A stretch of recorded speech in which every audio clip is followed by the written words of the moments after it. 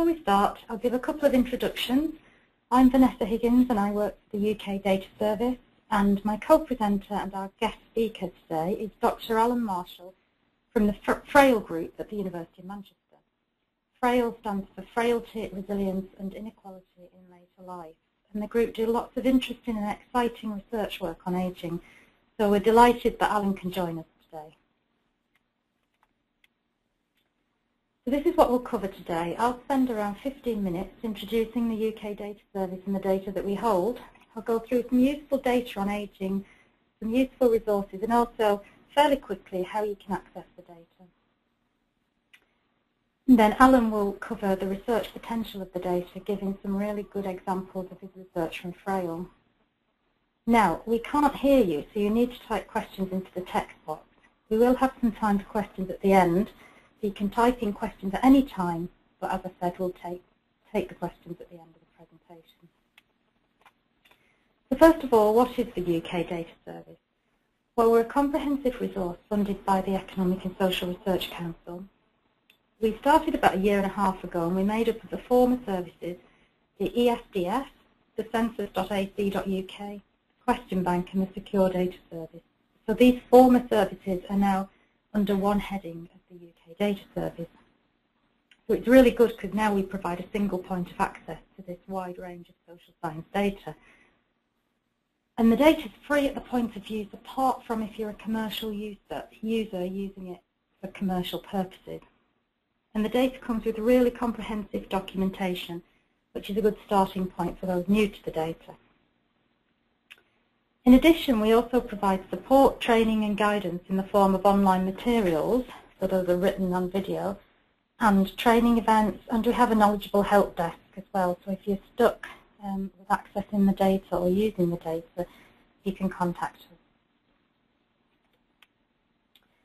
So, who's it for? Well, it's basically for everyone to use. I've listed lots of different types of users here, but it is for everyone. So they're not just restricted to academics, which is often a misconception, although there are one or two exceptions to this rule where some of the data are only available to higher education or further education workers. So that is the exception to the rule. So we have a wide range of different data types, including UK government surveys. So these are the large-scale, mainly cross-sectional surveys that are nationally representative. They're often funded by government departments, and some examples are the Crime Survey for England and Wales, the Health Survey for England, the Labour Force Survey, and others along those lines. We also have longitudinal data sets. The longitudinal studies, as you probably know, follow the same subjects over time, and they allow researchers to analyse change at the individual level. We have several key longitudinal studies in our collection, including the birth cohort studies, the British Household Panel Studies and the Understanding Society. So these are large samples and they're also nationally representative. We also hold data from the census. Now, now this comes in a variety of different formats. Um, it's the population census. It's held every 10 years in the UK. And we have a separate part of the website dedicated to just the census data because there are quite a number of formats that you can get the census data in. So if, you, if you're interested in the census data, I suggest you go to the URL, which is highlighted on that screen there. Cross-national surveys we cover as well. These are surveys across different countries where the same survey instrument and methods are used. So, for example, the Eurobarometer surveys, which monitor social and political attitudes and have been running across the EU since the early 70s. We also cover qualitative data, so this is non-numeric data. The most common kind of qualitative data is interview transcripts, but there are many other kinds, such as diaries, and there are also mixed method studies, so qualitative and quantitative. We also have country-level macro data. So this is international data that's been aggregated to a country or regional level. It's time series data and depending on the database it will be available annually, quarterly or monthly. It's usually produced by international governmental organisations such as the World Bank or the International Monetary Fund. And the databases cover a range of socio-economic themes such as industry, trade, employment, demography and lots of other things. And then finally we also cover business data. This is business microdata provided by the Office for National Statistics. Now these data are relatively identifiable so they have to be accessed through our secure lab which I'll talk about later. Okay, so um, I wanted to give you some examples of data on ageing. So this isn't a comprehensive list at all. There is a huge amount of data on ageing available from the UK Data Service, but this is a list of some of the key and most relevant studies. Um, I do suggest that you go and have a look for yourself using our search engine, but um, this, this will give you an idea and a taster of what's out there. So Probably the key one is the English Longitudinal Study of Aging, which is the acronym is ELSA. Um, and this is a longitudinal study, and it's dedicated just to the subject of aging. It's very widely used. It's a really good place to start. Collects data from a representative sample of the English population aged 50 and older when they start in the sample. And it started in 2002, though in 1998 through to 2001 it was collected on the Health Survey for England. It's now in wave six, so um, it's followed participants over this whole period.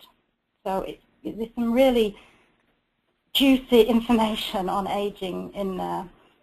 It collects objective and subjective data relating to health and disability, biological markers of disease, and other things such as socioeconomic circumstances, well-being, social networks.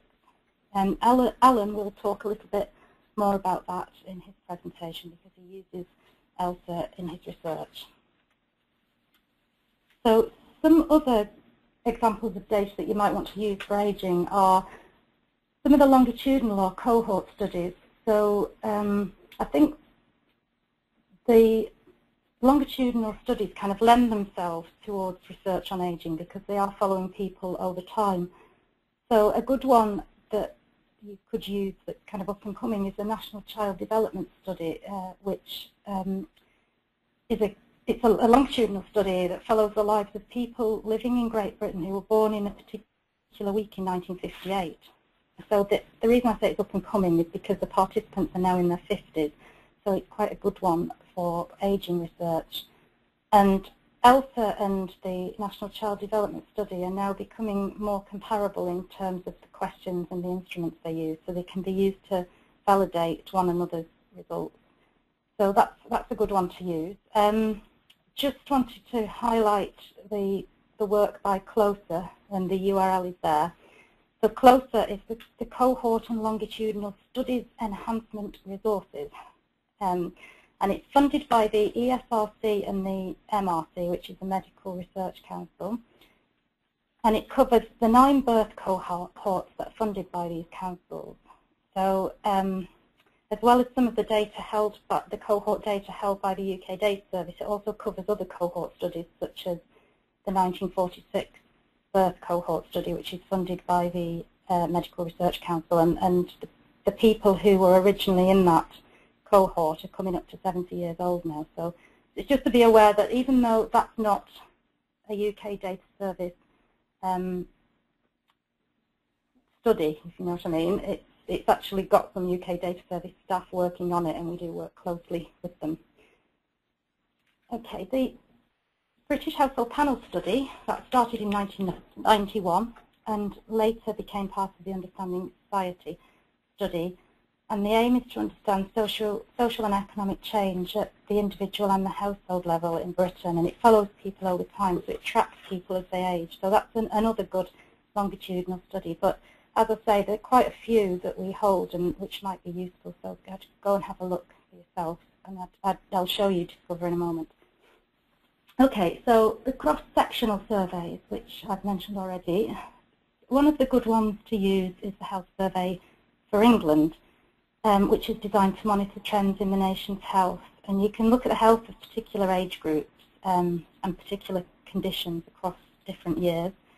Also, um, every so often it has uh, a boost and sometimes it has a boost of elderly people. So in 2000, um, it included a sample of care home residents, and in 2005 it included a boost sample of people aged 65 and over who are resident in private households. So even though it's a little bit old, that data now, um, you, know, it, it's still there and there's a chance that there may be another boost in the future.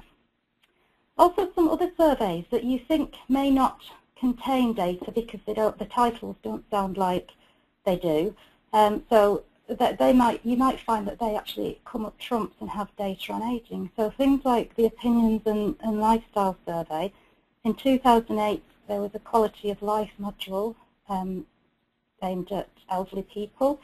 And uh, in 2011, there was a module on attitudes towards different age groups in society. So it is worth having a good look around to see what's there. Um, the census data, the census data can be useful for aging research because it covers the whole population. So for example, with the aggregate, aggregate census data, so these are tables from the census, you can look at age distributions across, across the country or in smaller geographical areas for things like limiting long-term illness, provision of care, things like um, employment and occupation. And also the sample of anonymised records um, is microdata with a very large sample, so this can be used to look at the elderly population as well. The, there's international aggregate data, um, such as the World Bank data on life expectancy. Uh, so this is available for over 200 countries, I think, with, um, and it's available for quite a number of years. So you can select the countries and the years that you want to make your own bespoke tables. And we do have a video tutorial on our website, which I'll, I'll show you the link to shortly, especially dedicated to this data. We also have some qualitative data uh, so, for example, a really good and very well-known one that we hold is The Last, Last Refuge by uh, Peter Townsend, and in the 1950s um, he did a national study about the provision of long-stay institu institutional care for old people in England and Wales. So, you know, we do, we do have some really good stuff in there. And then there's other more specific studies. So I've just put the example there, which I found very interesting, was migration nutrition and aging across the life course in Bangladeshi families. So I'm going to whiz through now because I think I'm running over slightly. Um, so to find data, if you go to our website, that's um, our main homepage, and you'll see I've circled the Discover catalogues. If you press Go here, you get taken through. And I've typed in here into the text box aging and I've pressed go and it's searched and you can see that it produces 4,505 results on aging. So there's an awful lot of stuff in there, but don't be overwhelmed with the number of results that you might get. Um, obviously here we've got the first few that have come up are the uh, really relevant, the ELSA study, Wave 1, 0 to 5 and Wave 1 and then another aging project here. But what you can do is you can do an advanced search to reduce your options. You can narrow things down by looking by refining things in the type and subject and date boxes.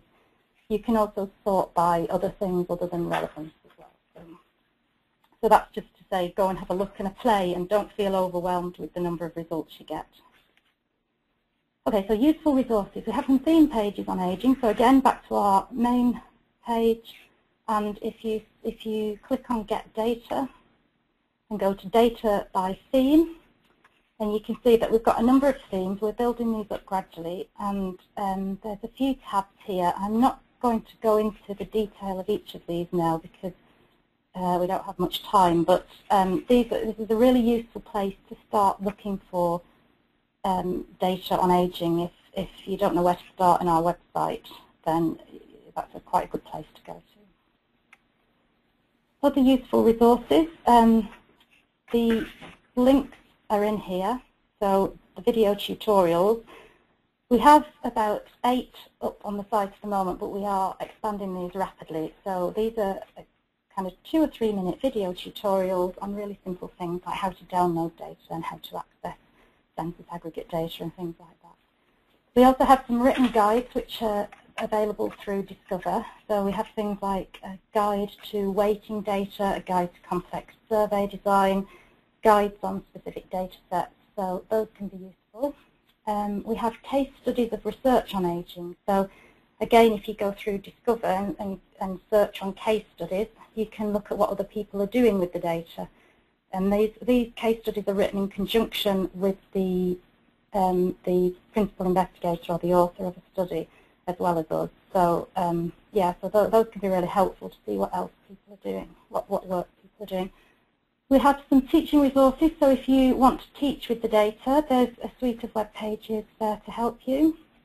And we have lots of things for new users, so we have some web pages uh, with advice for new users.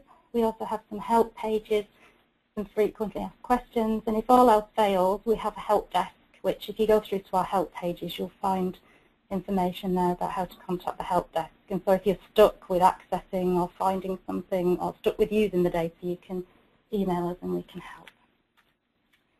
So last couple of slides from me, how to access the data. This is a real quick summary.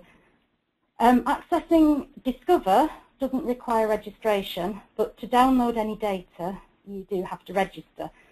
Registration and authentic, authentic, oh, authentication is required for most data, but there are some data sets that are available under the Open Government License, so you don't need to register or authenticate for those. Um, most data is available directly from the website unless you want to apply for more detailed, more disclosive data, which are available from either the Secure Lab or the Special License. Data are free apart from uh, commercial usages, and there's some important web pages for access there. These slides will be up afterwards, so you can always access the URL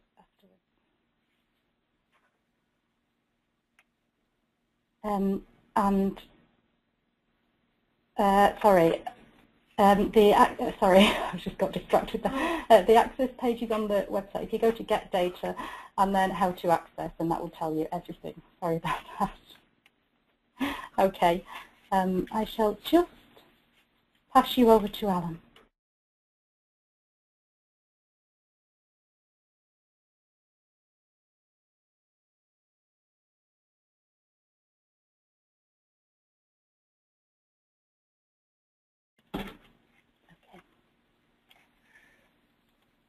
Okay, well, um, first of all, thanks everyone for joining this um, webinar on ageing. I'm Alan Marshall. Um, so I'm uh, one of the researchers on the Frailty, Resilience and Inequality in Later Life project. And what I want to do today is talk to you about how data from the UK Data Service uh, can be used to explore health inequalities in later life.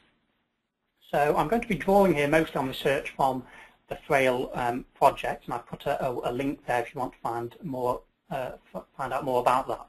Uh, but I should also acknowledge my um, uh, collaborators who worked with me on, on this, um, who are listed at the bottom of the slide there.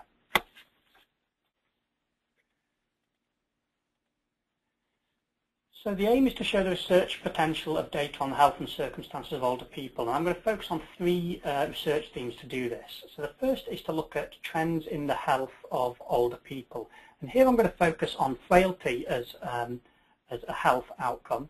Uh, and I'm interested in looking to see if there are differences in frailty across cohorts. So in, in more simple terms, if we compare frailty of a 60-year-old in 2002, is it the same or different to the level of frailty of a 60-year-old in 2010? The second theme is retirement and health. So here I'm interested in um, whether we see improvements or deterioration in, in health um, after retirement compared to before. And I'll be looking at a, a self-reported measure of um, illness in that part of the, presentation. And finally, I want to look at um, national context and healthcare. Uh, and in this part of the presentation, I'm going to focus on hypertension or high blood pressure and the management of that condition in the US and England, two countries with very different healthcare systems. So the main data source I'm going to use is the English Longitudinal Study of Aging, which I might refer to as ELSA throughout the, the presentation. I'll also use um, the census and the health and retirement study, which is um, a United States harmonized version of the English longitudinal study of aging. So first of all, why should we be interested in health inequalities in later life? Well, one reason is that the burden of poor health is greatest at the older ages. So if we're interested in tackling health inequalities, and understanding of health inequalities in later life is really crucial. Recent research has suggested that inequalities in health continue to grow with age into later life, and absolute socioeconomic inequalities in mortality rise with age. And one theory that's been proposed for this is um, a life course theory, which suggests disadvantage or advantage is accumulated over the life course from childhood to the older ages, leading to stark inequalities in later life. So if we look at uh, two examples of these, if we compare life expectancy at 65, we see that this is 21 years in Harrow compared with 14 years in Glasgow. And as I'll show you later in this presentation, we see a 10-year gap in levels of frailty between the richest and poorest older people in England. So Vanessa's already given some information on the English longitudinal study of aging, so I won't spend too long on this slide. But it's a panel study, um, and in the first wave of the study, we had approximately 11,000 people who were aged over 50. The survey involves face-to-face -face interview, but there is a biomedical assessment carried out by a nurse every four years. The, the, survey, as you'll see later, contains a really rich set of information from demographics to social relationships to cultural participation. And there are sister studies in different countries, for example, the Health and Retirement Study, which contain comparable information for cross-national work. So I'm going to move to my first theme now, which is trends in frailty in older people. So we've seen a steady increase in life expectancy over the past century, and commentators have noted that this will bring a set of associated challenges, for example, linked to costs of care provision. But the extent of these future care challenges really depends on how the health of the older population changes. So if you look at projections of care costs, these are really sensitive to the assumptions on the health of the older population in the future. But the evidence on these trends is really mixed. It depends on the methods that are used, the country, the particular health measure, and vary according to social class. So in this um, first part of the presentation, I want to look at whether there are differences in the levels of frailty across cohorts. So does a 70-year-old in 2002 have the same or different levels of frailty to a 70-year-old in 2010? And do we see differences in these frailty cohort effects according to wealth? I'd like to, before I do that, uh, include uh, a poll in this. So what do you think? Do you think that an average 8-year-old in 2002 is more, less or equally frail compared to an average 8-year-old in 2010? So I'll give you um, a few seconds to, to vote on that.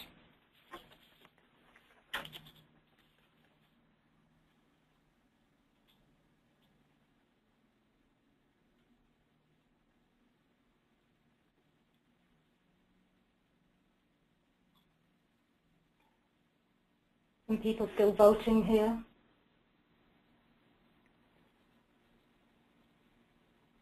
Okay, it's gradually going up. We've got 77% voted. Okay, I'll give a few more seconds and then yeah. okay, I'll close the poll now. Um, so um, the results of that show me that most people think that um, an 8-year-old in 2002 will be more frail than an 80-year-old in 2010, which is very impressive because that is actually the, the correct answer. That's what our research also tells us. But what our research using ELSA tells us is that this is particularly the case for the poorest individuals. So I'd like, now like to show you the research which um, illustrates this. But first of all, I'd to spend a, a few minutes talking about frailty itself. So specific definitions and models of frailty are contested but there is broad agreement that frailty is a non-specific state, that it reflects um, age-related declines across a range of systems and that these lead to adverse outcomes, for example, mortality and hospitalization. There are many ways that frailty can be measured. I'm using here a measure known as a frailty index developed by Ken Rockwood and, and colleagues in um, Canada. Now this is based on what's an, a, an accumulation of deficits. Um, these deficits cover a, a, range of domains such as activities of daily living, cognitive function, falls, depression, joint replacements. And all of these deficits are measured on a 0-1 scale. So if they're equal to 1, that indicates the person has that particular deficit. And the frailty index is then just the proportion of deficits held. So the closer this proportion is to 1, the more frail that individual is. So I'm interested in whether frailty changes across cohort, and I want to show a hypothetical uh, example of how I um, model this. So here I have a graph which shows age along the horizontal axis and the level of frailty on the vertical axis, with more frail being higher up that axis. And I've got two lines here, and these lines show the average or mean level of frailty for two cohorts as they pass through the ELSA survey between 2002 and 2010. So the red cohort are a more recent cohort. So at the start of the survey, they were aged 62. And you can see that by the slope of that red line, the level of frailty for that cohort increases over the course of the survey up to uh, the point where they reach age 70. So the blue cohort shows a uh, later or older cohort. They were 70 in 2002. And you can see that their level of frailty also increases throughout ELSA, but at a faster rate, which makes sense in that they're, they're an older group. But we can compare the level of frailty in each cohort here at age 70. So this is the same age but different time points. And what we see is that this shows quite an optimistic scenario. So 70-year-olds in 2010, in the red line, are less frail than 70-year-olds in 2002. So this is optimistic in the sense that lower care needs in the future, it would imply lower care needs in the future as older people are becoming less frail over time. But clearly we might see a situation where those lines overlapped, which would indicate no change, or where the 70-year-olds in 2010 were more frail than in uh, 2002. So let's go on to some results. This slide shows um, frailty trajectories by cohort using ELSA data for all people. And again, I have age on the horizontal axis and frailty on the vertical axis. The higher up that axis, the more frail a person is. So if we focus first on between the ages of 50 and 70, we can see that the, the changes in frailty for the cohorts overlap, which indicates there's no change in frailty over that period, 2002 to 2010, for those age groups. But if we actually look at the older, oldest age groups, 70 to 90, we see higher frailty in more recent cohorts. So a pessimistic, um, a pessimistic result. It's interesting to look at how that varies by wealth. So here I show two sets of results for poor groups, which poor, the, the, poorest quintile of the um, ELSA sample and the richest quintile. The poorest quintile are the that have higher levels of frailty in general compared to the rich. And we can, what we can see from this is that the um, trajectories or changes in frailty across cohorts for the richest group overlap across all ages. So for the richest, there's no evidence of um, change in frailty across cohorts at any age. But for the poorest individuals, we see higher levels of frailty in more recent cohorts compared to later cohorts. So it's the poorest individuals that are driving this cohort difference that we are observing. I've highlighted two lines here in red, and this is to show you this 10-year gap in frailty between the poorest and richest groups. So we can see that the, the evolution of frailty for a poor individual who's aged just under 70 is very similar to that for a rich person who's uh, aged just under 80. So it shows the stark uh, extent of inequalities in frailty in England. So in summary, we see comparable levels of frailty across cohorts at the younger, um, well, at the ages of 50 to 70, and then higher levels of frailty in more recent cohorts compared to later cohorts over the age of 70. And this is driven mostly by the poorest groups and it's a pessimistic out outcome in the context of rising life expectancy. But it's not a finding that hasn't been um, shown elsewhere. So a similar finding is shown in the US. And if we think about why this is happening, one reason could be that improvements in medical and care services across the life course are improving the survival probabilities for frail individuals over time.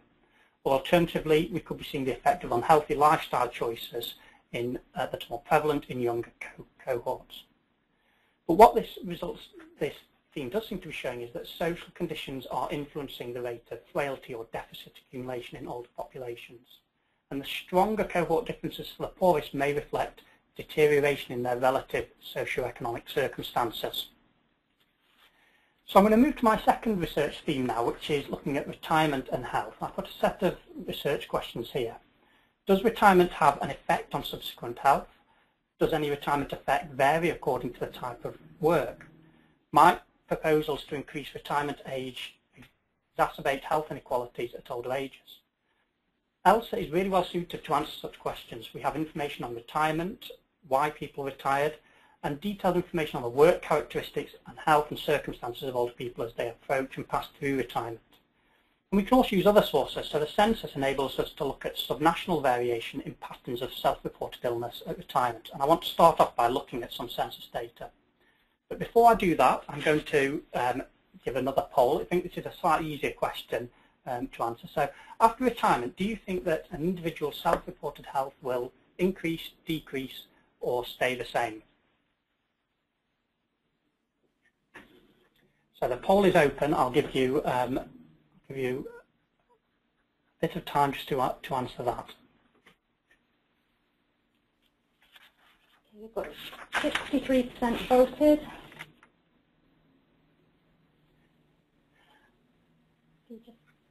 Do a countdown maybe? Five, four, three, two, one. We'll close the poll. Okay, so the the um, results of that, most people are saying that um, self-reported health will deteriorate after retirement. And again, everyone's exactly right with that. That was the, the result that we found in our, our research.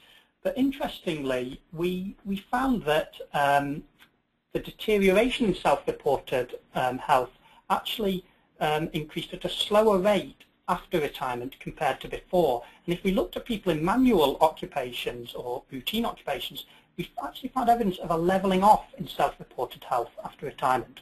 So I'll go over the research that shows this. So here I've got some census data for three districts in, um, in, in England and one, two districts in England and one in Wales. And along the horizontal axis I have age and along the vertical axis proportion with a limiting long-term illness. And you can see here that we have um, we have very different levels of limiting long-term illness in each um, district. There's similar uh, patterns with age. We have an increase um, with age, but we see that levels of um, illness are much higher in Merthyr Tydfil compared to Bury, which is higher in turn compared to South Buckinghamshire. But what I think is particularly interesting is the differences in the, the shape of the limiting long-term illness curves at retirement. So if we focus on South Buckinghamshire first, which is the bottom um, thin black line, you see that there's a smooth increase in limiting long-term illness throughout retirement.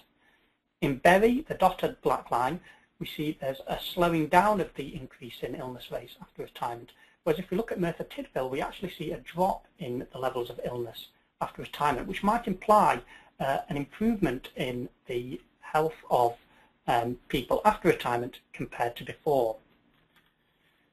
So I mapped the different patterns of, um, of limited long-term illness at retirement uh, and dividing districts into three groups.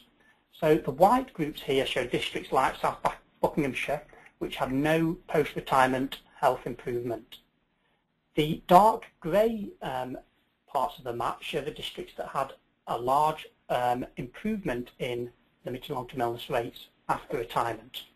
And we see that those areas that have the improvement in health after retirement um, coincide with um, more deprived and often formerly industrial areas, whereas the districts that had no improvement in um, health after retirement are clustered around the uh, more affluent southeast around London. One of the problems with this census analysis and the conclusions that I've kind of tentatively suggested is that we have different populations on either side of retirement in this aggregate data source. The census is just a snapshot. So we can't be certain that a process such as uh, different differential mortality in districts such as Merthyr Tydfil or differences in migration at either side of retirement are causing the differences we observe. So to answer this kind of question, we need data on individuals. We need to track individuals through retirement and see how um, levels of limited long-term illness or their risk of having a limited long-term illness changes as they move through retirement. And this is what we've done using the English longitudinal study of aging. So here in this graph, which is based on ELSA data, along the horizontal axis I have time to retirement, going from 10 years before to 10 years after, and I've marked the, the point of retirement um, in the middle. On the uh, vertical axis, I have the probability of having a limiting long-term illness. Um, and we have, you can see two sets of lines here. The jagged lines show the observed probabilities of limiting long-term illness on the English Longitudinal Study of Aging as a person moves through retirement. And the solid line shows the model probabilities. And what we did was to fit a slope representing the increase in illness rates leading up to retirement, and then a slope representing the change in illness rates after retirement. And we can see here that for the general population, there appears to be some evidence of um, still increases in risk of limiting long-term illness after retirement, but that increase is at a slower rate compared to before retirement. We can look at that according to different types of occupations. So here I present the same kind of information for um, people working in managerial and professional occupations and those working in uh, routine occupations. So in the routine occupations, we see a steeper increase in probabilities of illness in the lead up to retirement and then a leveling off in the rates of uh, illness after retirement. Whereas for management professionals, we just see a smooth um, increase in illness rates throughout retirement. So this, in some ways, um, corroborates the, the spatial research using census data because we know that those in routine occupations are more clustered um, in more deprived parts of, of the country. So just to summarise that theme, we saw strong spatial uh, distributions in patterns of illness rates at retirement. Um, and for individuals working in routine occupations, there were faster increases in the probabilities of having an illness in the final years of employment, and then a levelling off in probabilities of illness after retirement. And this is in line with other research, such as that by um, Hugo Westerlund and colleagues in France. And what it suggests from a policy perspective is that increasing retirement age may well exacerbate inequalities we see in self-reported health at the older ages, because this improvement we see for those in routine occupations, the improvement in illness rates after retirement, will be delayed till older ages. So the final theme that I want to look at is um, aging in a national context. And here I want to focus on hypertension or high blood pressure healthcare. And I'm going to compare the US and England and ask the question of whether different healthcare systems lead to different care outcomes for high blood pressure.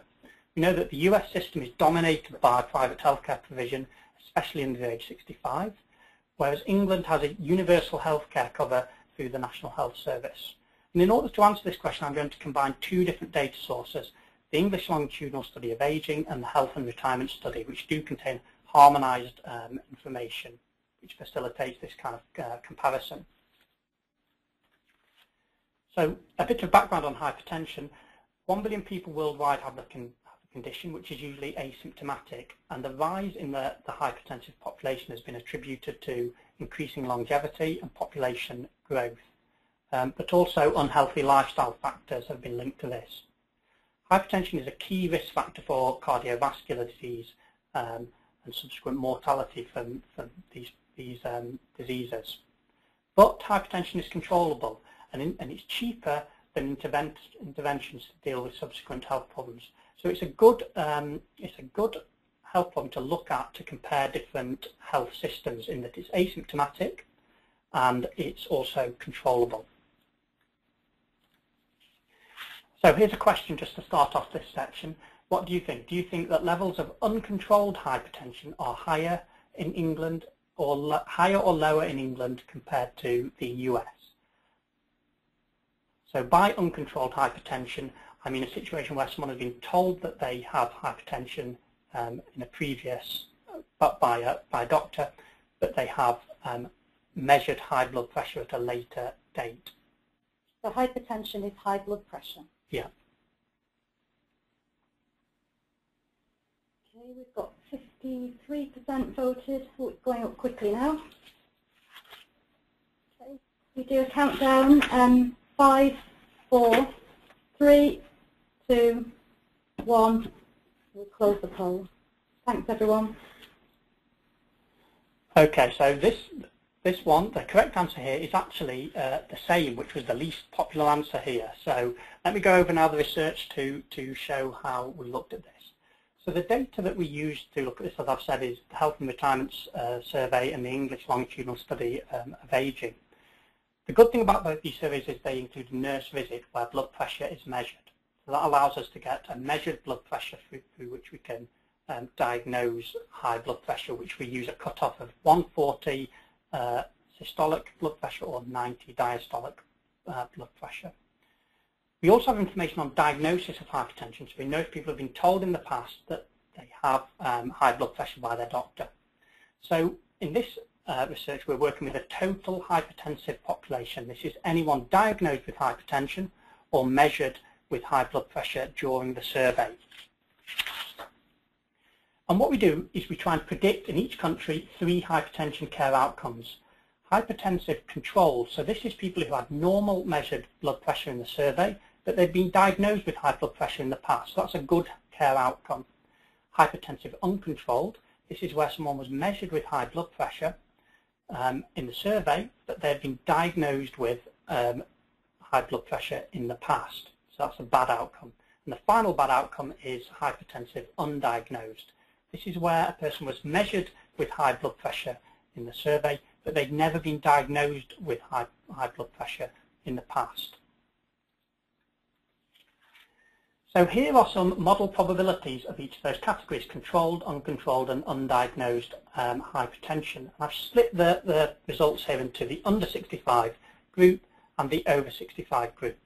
So focusing on the under 65 group first, if we look at controlled hypertension, which is the blue bar, you can see that there are higher levels of controlled hypertension in the US compared to England. But this difference isn't driven by uncontrolled hypertension. The levels of uncontrolled hypertension are similar in each country. What does drive the difference is undiagnosed hypertension.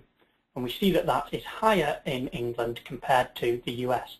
And a similar set of results apply for the over 65 population.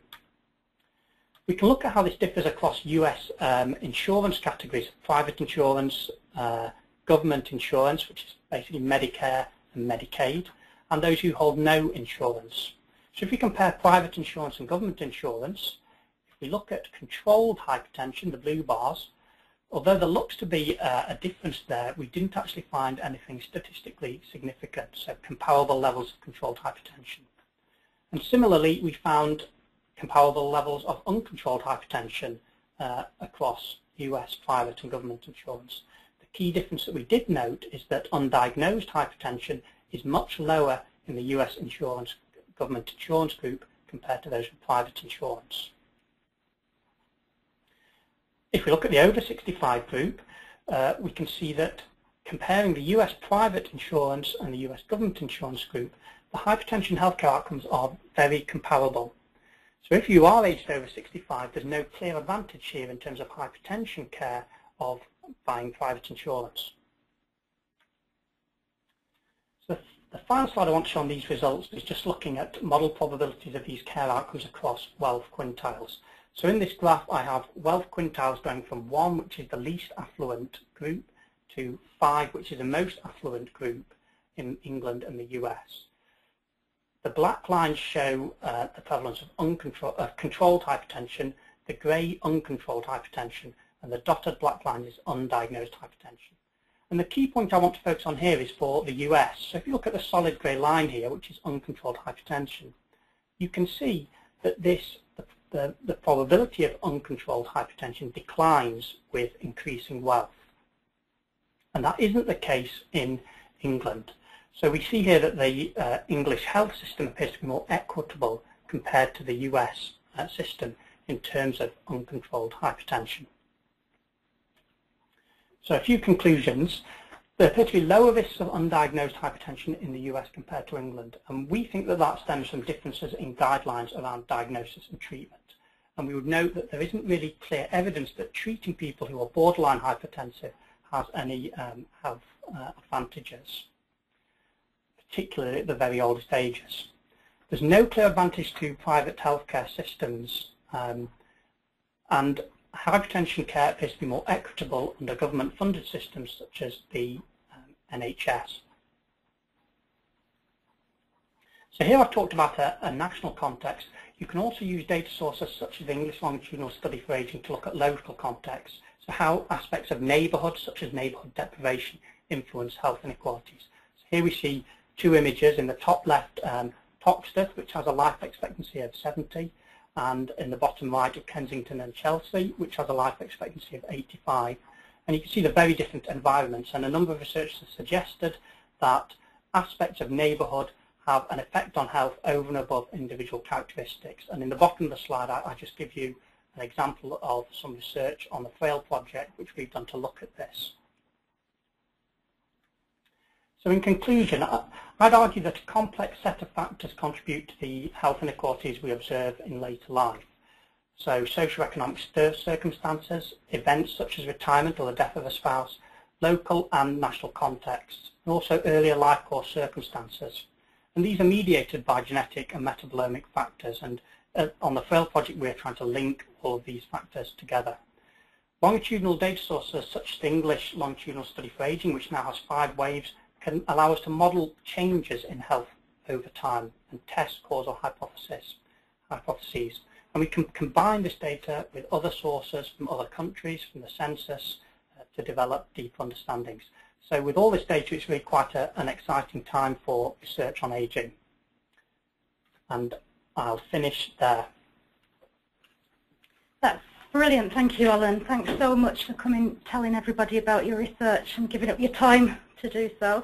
Um, you just bear with us if there's a few um, noises in the background while we just shift around um, because we're going to take the questions now.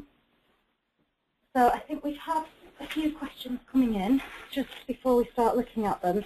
I'll just say that the slides will be up on the website with the recording of this webinar as well. So you can go back and look at, for example, the references that Alan put up, and this should be up within the next few days. Okay, so um, we had a question about whether or not there was a longitudinal study of ageing for Wales. Not that I know of. I've never heard of one. I one. So. No, no um, I'm sure it would have come up strongly in the search if we'd have, if there was one. We've not heard of one. Um, there is the health survey for Wales, the Welsh Health Survey it's called. Um, so you might want to go and look at that and see if that has any topics on uh, elderly people or ageing. Um, what else have we got? Is it possible to get soft copies of the slides after the session? Yes, covered that one. Um, yeah, there's a question for Alan in, in here. Um, oh, where's it gone? Which potential confounding variables are included? Right, do you want to... Yeah, so I've, I've had a question here which asks about potential confounding variables, and I think this concerns the research on cohort effects in uh, frailty. Um, so the, the, that particular search um, doesn't um, control for aspects such as education, uh, lifestyle or smoking. So the only really socioeconomic variable that is in there is wealth. And part of the reason for that is um, an issue of sample size. So the more variables that are included, um, the sample size drops and reduces the power to kind of draw conclusions. So it'd be really interesting to, to try and look at, uh, include variables such as um, smoking and drinking or education to try and understand the differences further, but um, it's quite problematic to, to do that. Okay, thanks Alan. Um, just looking through these. Somebody's actually made a useful comment here. There's a Scottish longitudinal ageing study in Scotland which is due to pilot this year That's some useful information. Um, look. Um, a lot of people are asking for the slides. Um,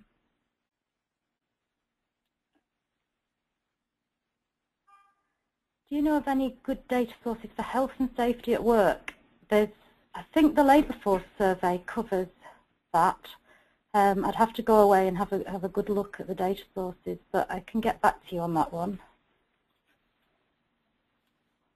Um, perhaps that one for you, Alan. Or... Sorry, just bear with us while we're reading them.